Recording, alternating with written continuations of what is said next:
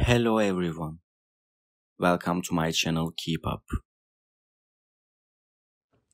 Today I am going to give you an interview of Barış Arduç.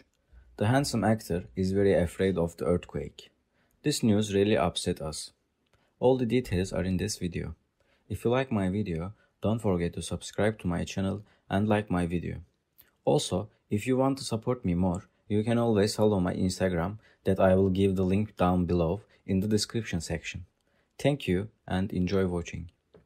Reporter, you were born in Switzerland, so what wind brought you here? Barış, my grandfather was a worker there at the time. My mother goes there with my father, and we, three brothers, are born there. Reporter, what were your, your parents doing there?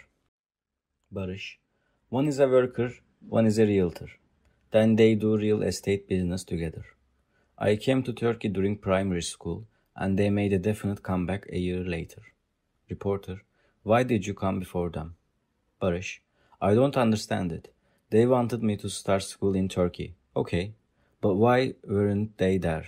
I'm still debating this with my family. How cruel are you? I say. I think they also regret it. Reporter, did you come alone?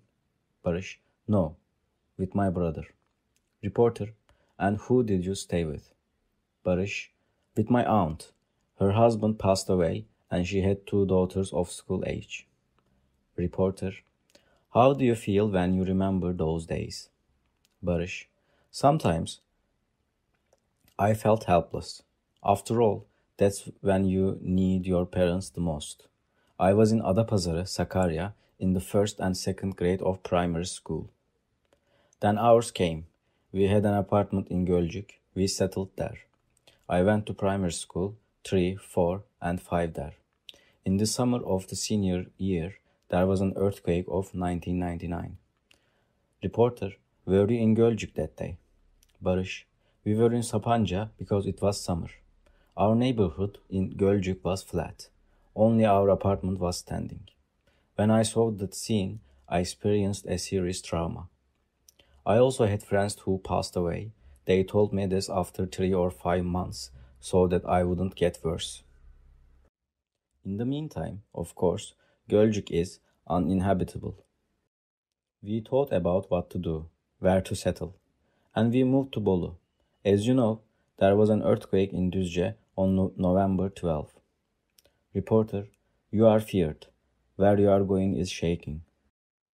Barış, when I went to Istanbul, the dear of this came back a lot, saying, Oh brother, don't bring it here either. But I was really bad in the Düzce earthquake. What's going on? I am cursed, I said. If Barış Arduç and his family had not gone on vacation that day, he would probably have experienced a very sad pain. We were really surprised to hear about Barış Arduç's trauma. He had a lot of difficulties in his life, but now he's expecting a baby and he deserves happiness. Thank you so much for watching my video. See you in the next one.